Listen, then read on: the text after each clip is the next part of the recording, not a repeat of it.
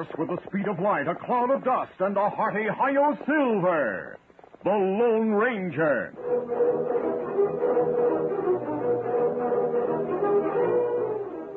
Before this exciting adventure, a word from our sponsor. General Mills, makers of Cheerios, the ready-to-eat oat cereal that gives you go power, and Wheaties, the breakfast of champions, present by special recording, The Lone Ranger. When boys line up to run a race, galloping Gordon sets the pace. He comes in first because he knows he's got go power from Cheerios. Yes, he's got go power. There he goes. He's feeling his Cheerios, Cheerios, Cheerios. And so will you, once you're eating Cheerios every breakfast. You'll say the Cheerios taste simply wonderful, too. They're already cooked shaped like little round O's and just full of good toasted oat flavor. Pour out a big bowlful, add fresh milk, and pitch in. You can almost feel the go power. For a Cheerios breakfast is one of the finest ways you can get the vitamins, proteins, and minerals your body needs. A bowl of Cheerios and milk really starts your day right. Helps give you the good red blood, strong bones, and muscles. Go power, you'll get it from Cheerios. Try it, and folks will say. He's feeling his Cheerios.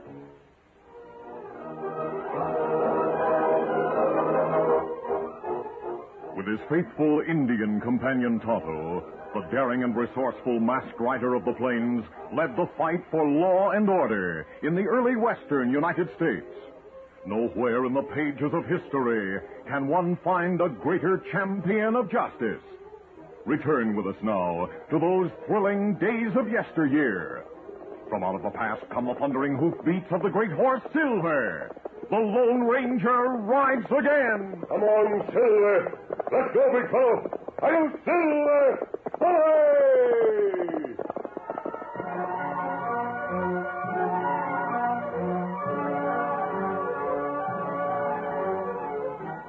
The first half of the 19th century saw the beginning of expansion into the West. Nature, Indians, and wild beasts had been conquered, but there remained the bandit gangs and outlaws, men who lived by the gun and preyed on fellow men. Men like Ace Lassiter, who led one of the strongest gangs.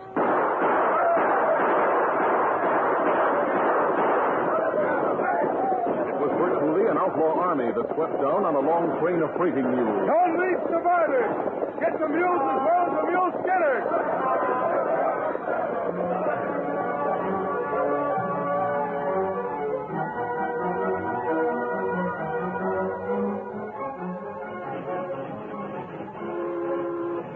Freight train out of St. Joe was heavily loaded with mining machinery and equipment. The cargo would have meant much in the development of a community, but Lassiter's gang planned otherwise. A weakened vessel sent the engine plunging into the bottom of the canyon, and all the heavy cars went after. Lassiter's gang was waiting at the bottom of the canyon. Move in, boys. You know what to do if you find any survivors. Burn all the cars and roll that machinery into deep water.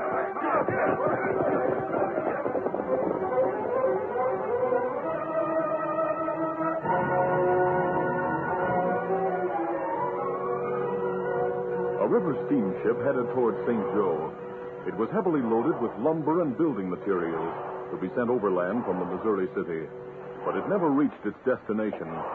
Lassiter's gang struck when the riverboat touched Harper's Landing.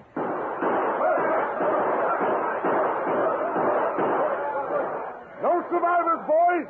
Kill off everyone on board, then fire the boat and cargo. Oh, oh. Who's that? One of our boys get hit. It's Al. Oh, my leg. My leg. He's catching the leg, boss.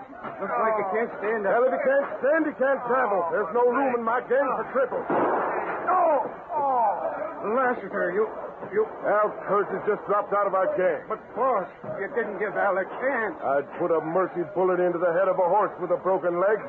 Why shouldn't I do the same for Al? After the attack, the charred remains of the steamboat and its cargo drifted downstream together with an assortment of wreckage. The Lone Ranger and Tonto were on the riverbank watching the grim procession. Another attack, Tonto. Ah. Must be plenty big gang. Tonto, during the past few months, there have been a number of raids on railroad, wagon trains, and freighters. That's right. In every case, the attackers were more interested in destruction than in thievery. They take guns and ammunition. Few things crooks can use. But they concentrate on the destruction of materials for expansion of building, business, and industry. I think. Tonto, look. Ah.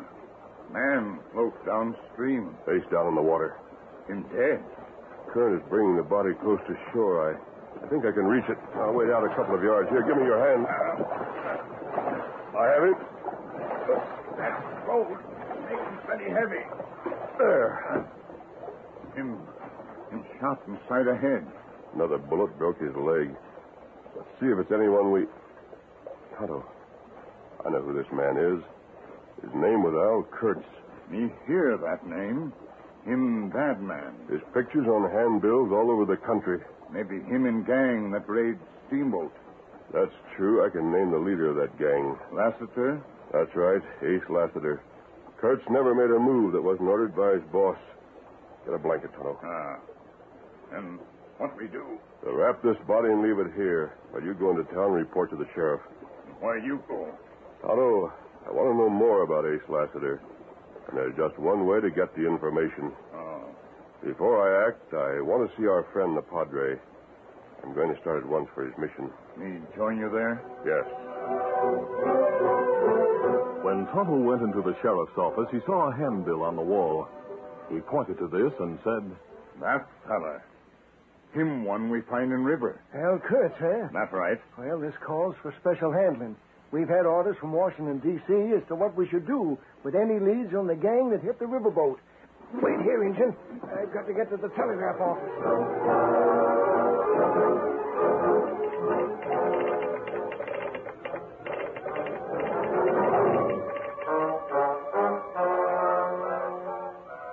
Here, Chief. A telegram from a small town on the Missouri River. The sheriff's message was delivered to the head of a special bureau appointed by the president to aid in the expansion of the West. Al Kurtz, huh? So he's dead. Yes, sir. I've been waiting for something like this. Find the Inspector Martin and ask him to come to my office immediately. Yes, sir.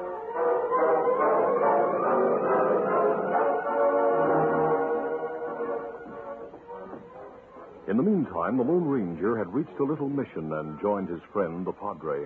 My son, never before have I seen you wear an expression of such great concern. Never before, Padre, have I faced a situation like this.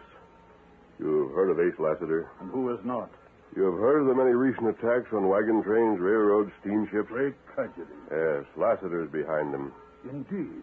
He has a powerful organization, Padre. He and the men with him are fighting change. They're opposed to progress. But why, amigo? Their own greedy, selfish interests are best served. The West remains unchanged. They know that if this country develops and becomes more civilized, there will be more law and order. Now, they don't want that. They want things to remain just as they are, with small towns isolated and easy prey for outlaw armies. They don't want each town to expand and to be connected by good roads, railroads, and telegraph lines to every other town. That's why they're opposed to progress. That's why they're destroying everything that might develop this country. My son, you may be right. I think you are. But what can be done? I'm going to join Ace Lassiter's gang What? and try to work against him from the inside. There is great danger. That's why I came to you. This mission may be my last. If I'm unmasked and my body is found as an outlaw member of Lassiter's gang, you will know what to do. Your grave shall be alongside that of your brother and the brave Texas Rangers who died with him.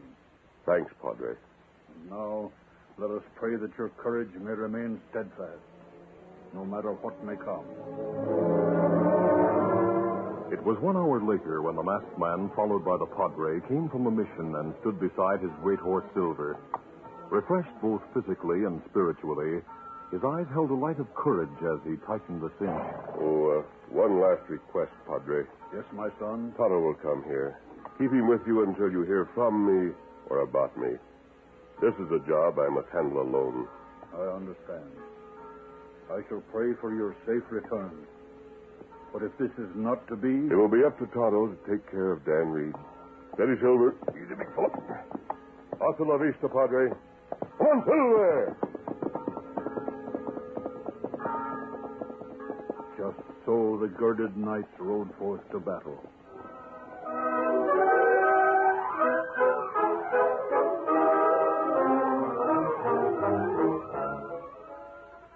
We'll continue our Lone Ranger adventure in just a moment. all over the country in every direction. How you, how you doing is the question. And here's what the happy, happy people have to say. Are do, do, doing okay? Okay. Sure enough. Take Midwestern champions, for instance. When Bobby Feller takes the mound, the outfield boys sit on the ground. That Wheaties pitching leaves them there, watching batters fan the air. And when we name our Wheaties crew, Big Ted Kluszewski's in there, too. He'll face those hurlers day or night and knock their fastballs out of sight. Bob Feller and Ted Kluszewski both know that Wheaties magic. There's a whole kernel of wheat in every Wheaties flake. Wheaties, breakfast of champions. Keep on eating your Wheaties and you'll be do, do, doing okay. Okay.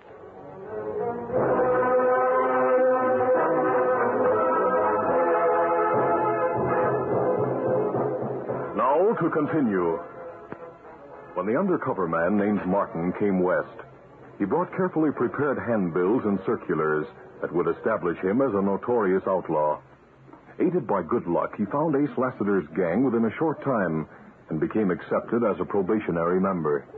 The Lone Ranger was less than a mile away at the bottom of the canyon that bordered Lassiter's camp. A disguise had been applied to his face.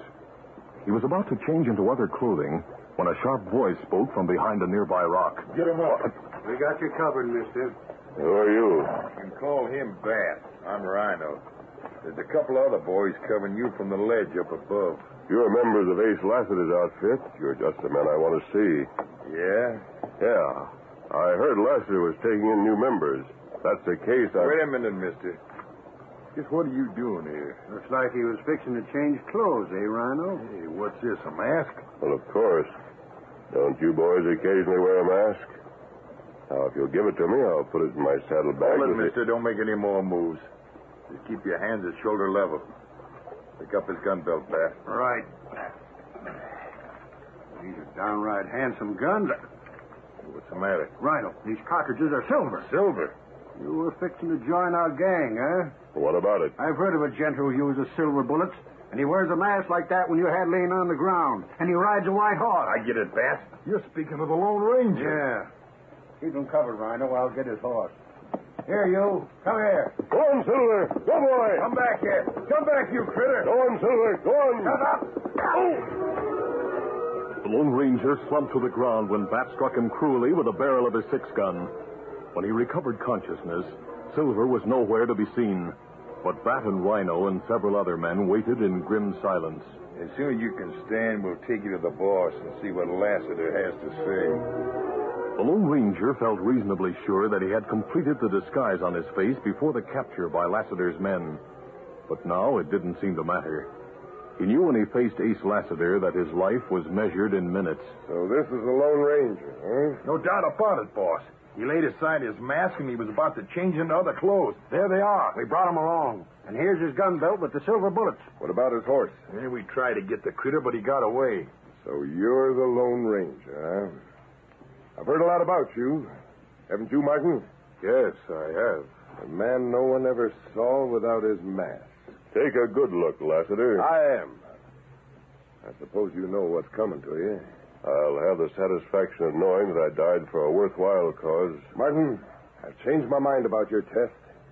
Instead of waiting, you can take the test right now. Kill the Lone Ranger. Now? Why not? Give me his gun belt. This? You heard me. Let's have it. Be sort of fitting to let the Lone Ranger be killed with one of his own silver bullets. Yeah. Yeah. I like that touch. All right, keep your hands up, mister. Walk ahead of me over to the edge of the cliff. I'll let you have it so your body will fall into the water down below. Save us the trouble of digging a grave. Is that all right with you, Lassiter? That's all right. Get going. We'll be watching you from here. All right, start walking. It was about a hundred yards to the edge of the 20 foot drop. During the walk, the Lone Ranger moved two paces ahead of Martin and held his hands at shoulder level while he thought of many things. He wondered about his great horse Silver that he had last seen at the place of his capture less than a mile away. And he wondered about the man who had been delegated to shoot him. Martin. Martin. What are you saying? No, Abbott. I remember you, Martin. You're no outlaw. Who says I'm not? A few years ago, you were a federal agent. I hope you're still one. Are you working undercover here to get this gang? How do you know me? We used to be good friends. I doubt that. I don't forget a face. You haven't seen my face. What? I disguised it before I was captured. Now, you want me to take another step over the edge of the canyon? Or wait here until you shoot? It's only a 20 foot drop. The water's deep. It'll break your fall. But if I let you escape, Lassiter will kill me. Can you smash Lassiter's gang? I hope to. Planning to attack the Cheyenne warehouse on Saturday. I'm going to try to slip away from him Friday night and get the soldiers from Fort Laramie. You've got to succeed, Martin. I'd like to know who you are. Something familiar about your eyes, shape of your chin. Disguise doesn't hide that. I was with you when you were wounded with the Cavendish gang in Texas. Wait. Wait a minute. No, no, it can't be. A Texas Ranger by the name of Reed, the younger brother of the captain. Martin, you're the only man excepting Tonto who knows my identity. Just one thing, Martin, before you shoot. I have a nephew, my brother's son. His name is Dan. Yes. Help Tonto prepare that boy for the future. His generation must carry on after our work is done. The next century. Lone Ranger and Martin talked fast in low voices. Meanwhile, Lassiter and his gang, watching the two men a hundred yards away, were becoming impatient. Hey, Martin, we've waited long enough. Let that critter have it, or we'll do the shooting for you. Bat, you and Rhino will get your rifles ready. Right, boy. Martin doesn't shoot in five seconds. You two open fire. And shoot Martin as well as the Lone Ranger. Martin's going to shoot. That's it. Blasted the Lone Ranger right over the ledge. For a minute, I thought he was backing out. He's looking down into the ravine. Make sure of him, Martin. Firing three more shots after the man who had disappeared over the edge of the ravine, Martin tossed the guns and gun belt into the canyon, then turned on his heel and rejoined Lassiter. Plans went ahead for the attack on the warehouse at Cheyenne. Ace Lassiter sent out his scouts who brought back reports that pleased the leader. On Friday night, firearms were inspected and final orders given. You, Martin. Well, stay with me. Rhino Bat. Yeah, boy. Stay close, keep an eye on Martin. What's the idea? I'm taking no chances, that's all, Martin. You might get the idea that you could get a nice reward and a pardon for your past crimes by sneaking off to tell about our plans. You think I'd double cross you like that? I'll be more sure of you when I see how you act on your first big job with it. Till then, we're watching you. Martin didn't sleep that night. He lay awake waiting, watching and hoping for a chance to get away as he had planned and tell the soldiers at Fort Laramie about Ace Lassiter's army of destruction. But his hopes were futile. Bat and Rhino took turns sleeping. One was always awake and watching with a gun held ready. Early morning found the outlaws on the move. Martin was forced to ride at Ace's side with Bat and Rhino right behind. There's the warehouse straight ahead. The watchman sees us. Let him have it, Martin. You mean shoot him? I mean shoot him. You missed. He's opened fire on us. I'll get him. Got him. Martin, I don't like the way you've been acting. You could have hit that watchman. see here, Lassiter. You better play straight on this job. Here comes some of the sound to it. Close in on the double. Get up. Get up. Come on. The outlaws spurred their horses and dashed to the warehouse.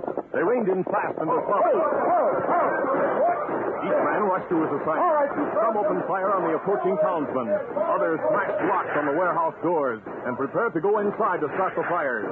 Bat and Rhino stayed close to Martin and Ace Lassiter. Use that gun, Martin. I've been watching you. Four soldiers. And that man in the lead. That white horse. Martin, it's the Lone Ranger. You bet it is. And he's bringing troops to get You you. didn't kill him. Why, you double cross. The army's spreading out to surround us. We gotta clear out. I got one thing to do. Oh, that's for you, Martin.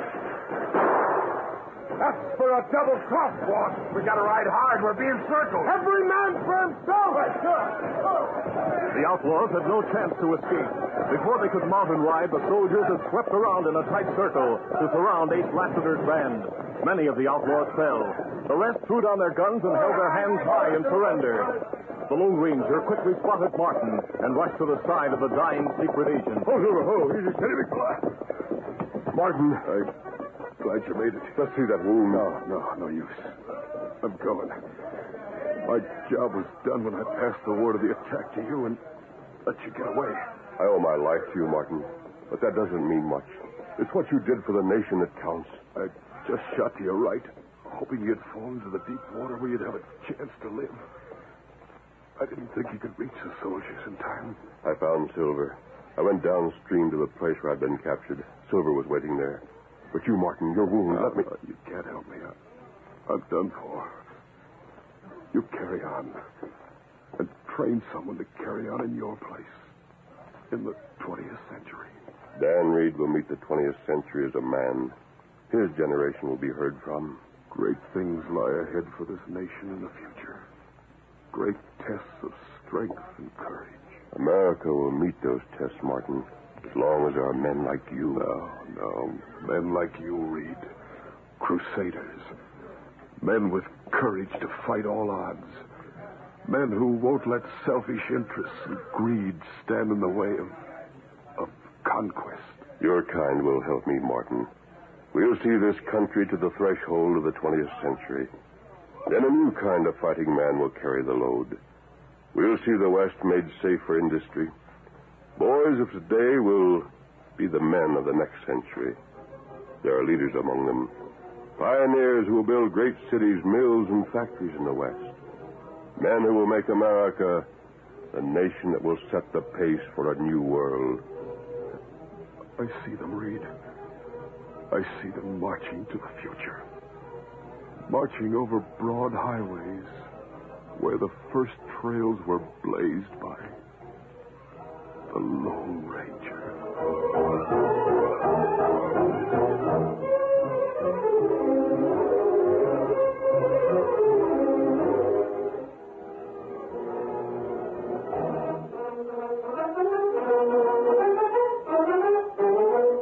The Lone Ranger, a copyrighted feature of the Lone Ranger Incorporated, is produced by Trendle Campbell Muir Incorporated.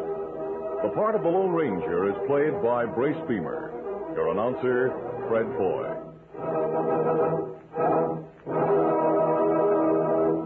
Listen to The Lone Ranger, brought to you by special recording Mondays through Fridays at this same time.